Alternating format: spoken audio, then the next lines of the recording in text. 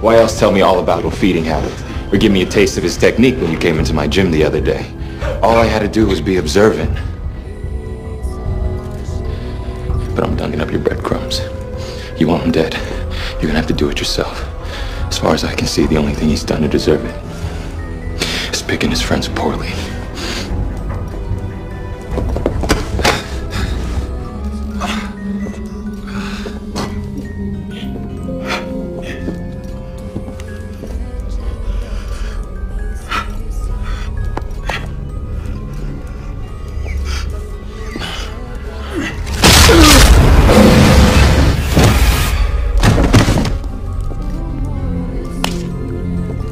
You chose well.